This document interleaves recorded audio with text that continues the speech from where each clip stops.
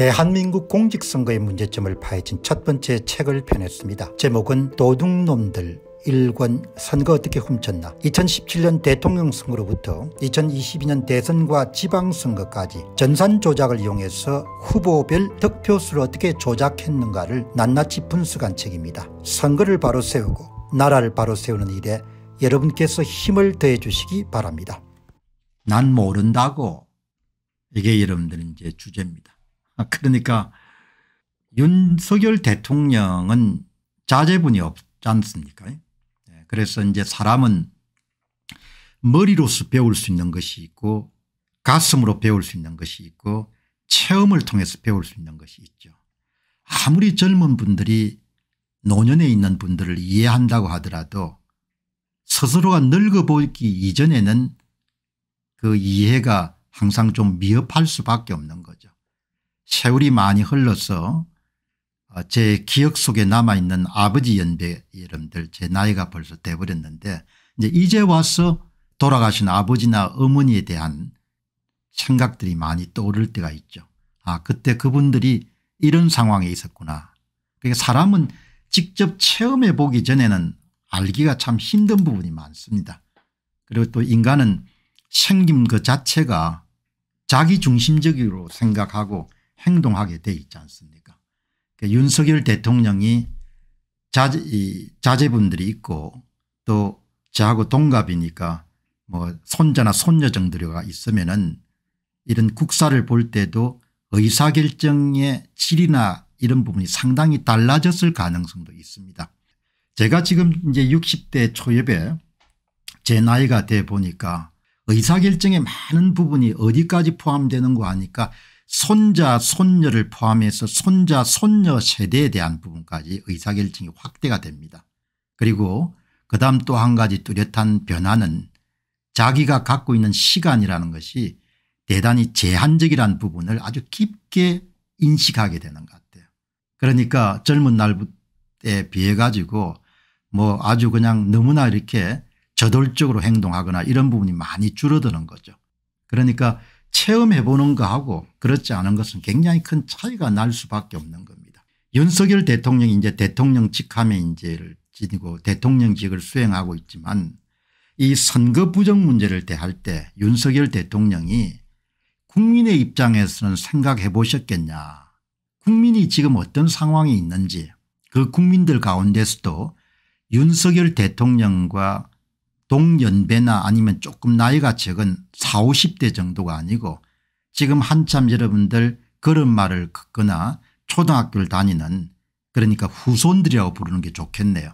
그런 후손들의 앞날에 대해서 깊이 생각을 해봤겠냐 이런 부분을 제가 묻지 않을 수가 없는 거죠. 만일 제가 그 자리에 앉으면 그 자리에 앉았다면 아마 손자 손녀 세대를 가장 먼저 생각했을 것 같아요. 그 손자 손녀 세대를 먼저 생각한다는 것은 내가 타협할 수 있는 거하고 타협할 수 없는 거를 구분할 때 굉장히 중요한 그런 기준이나 잣대를 제공하는 거죠. 윤석열 대통령은 자신의 이익이나 자신의 안위 때문에 그 악과 타협하거나 악과 여러분들 뭐죠 협상을 할 수 있을 겁니다. 그러나 국민들 입장에서는 악과 타협을 할 수가 없는 거죠. 부정선거 세력들하고 정상적인 국민들은 타협할 수가 없는 겁니다. 정상적인 국민들은 타협거리가 없는 겁니다. 선거 부정을 여러분들 지금까지 2017년 대선부터 지금까지 주도해온 사람들이 2023년도 10월 11일 강서구청장 보궐선거에서 역대 사상 최고의 사전투표 득표수를 조작한 걸 보게 되면 그 사람들의 유일무이한 목표라는 것은 선거를 장악해서 자신들이 일당 지배체제를 견고하게 만드는 겁니다. 그러면 국민들 입장에서는 국민들이 바보 천치가 아니기 때문에 국민들이 참정권을 박탈당한 상태에서 2024년 총선하고 2027년 대선을 거치게 되면 국민들이 노예 신분과 비슷한 상태에 빠진다는 것을 대다수의 국민들이 저의 방송을 들으면 납득을 할 겁니다. 그거를 어느 국민들이 타협하려고 하겠습니까 타협할 수가 없는 거죠. 많은 국민들이 그런 그렇게 위중함을 모르기 때문에 그냥 간과하지만 오늘 이 방송을 보시는 분들이 여러분 자신과 여러분의 손자 손녀들이 다 참정권을 박탈당하고 더불어민주당이 주도하는 일당 지배 체제 하에서 수십 년 수백 년을 살아가게 될 겁니다. 그것이 바로 10월 11일 날 강서구청장 보궐선거가 뜻하는 바고 그것이 바로 10월 11일 날 강서구청장 보궐선거에 대해서 윤석열 대통령이 침묵하시는 것이 의미하는 바입니다. 이렇게 여러분들 사람들이 들으면 은 어느 국민들이 여러분들 그 부정선거 세력하고 손을 잡거나 타협하려고 하겠습니까 국민들은 타협할 수가 없는 겁니다.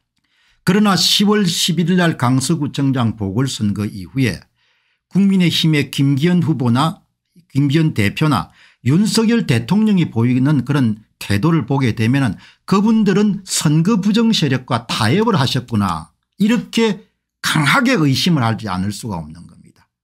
나라의 대통령이 선거 사기 세력들하고 타협을 했구나 약조를 맺었구나 계약을 맺었구나 이렇게 많은 사람들이 의심할 수밖에 없는 겁니다. 그렇지 않고서는 일국의 대통령이 이 엄청난 강서구청장 보궐선거를 덮고 넘어갈 수는 없다는 겁니다.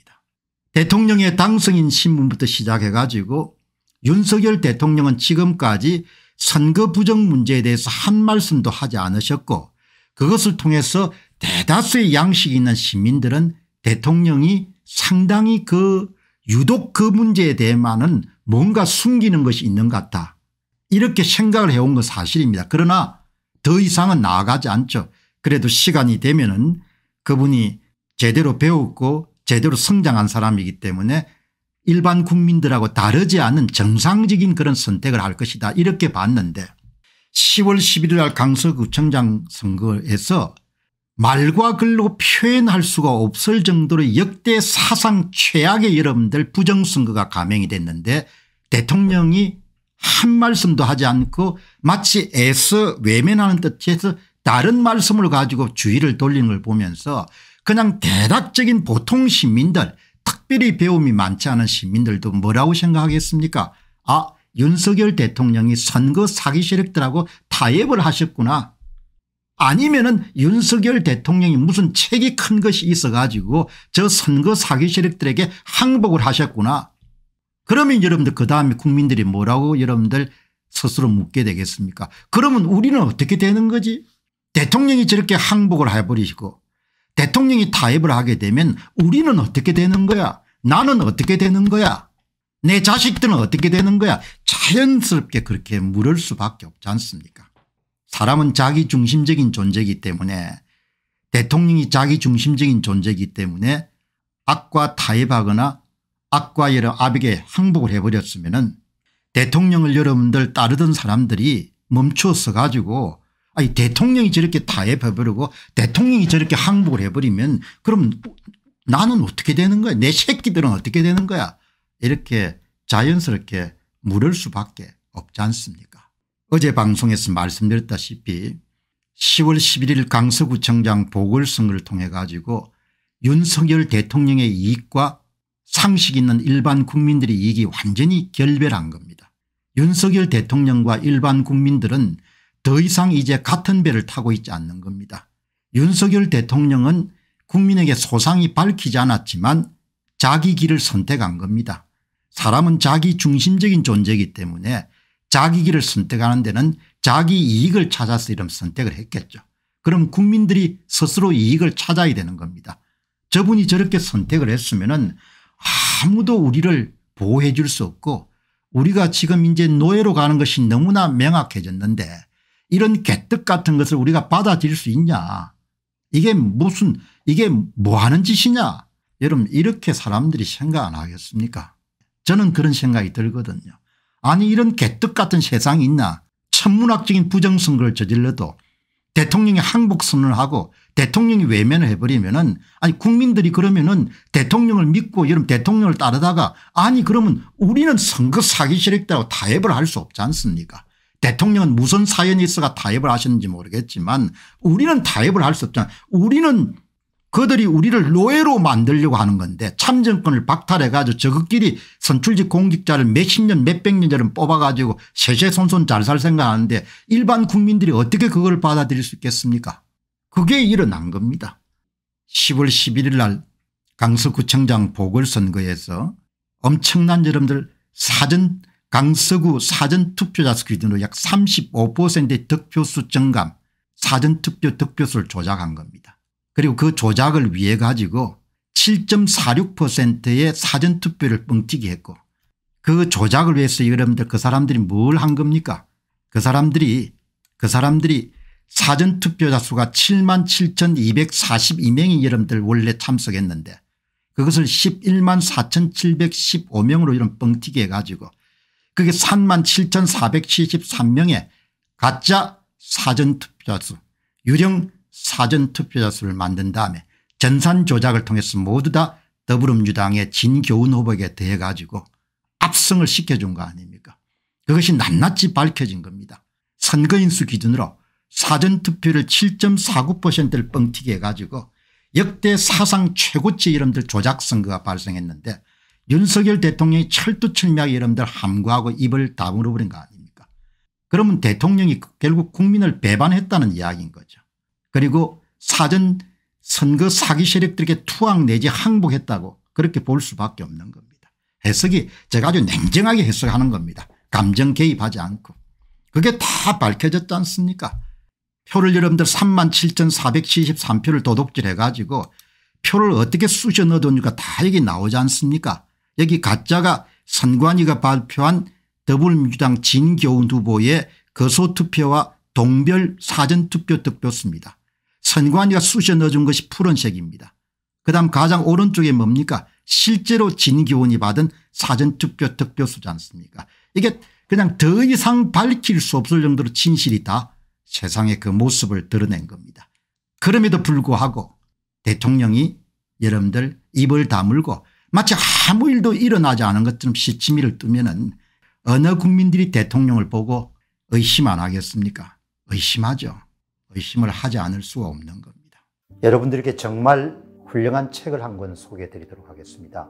김동주 박사님 역사학과 신학에 대한 상당한 조회를 가지신 분이 26년 동안의 연구를 총집결한 책이 바로 기독교로 보는 세계 역사란 책입니다. 우리나라에서도 역사 뒤집기를 위해서 좌우 진영이 굉장히 격렬하게 싸우지 않습니까?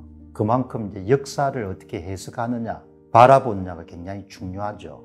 세계사란 큰 관점 속에서 좌우에 치우치지 않고 반듯한 그런 역사적 관점을 가질 수 있지 않겠냐 그렇게 생각합니다.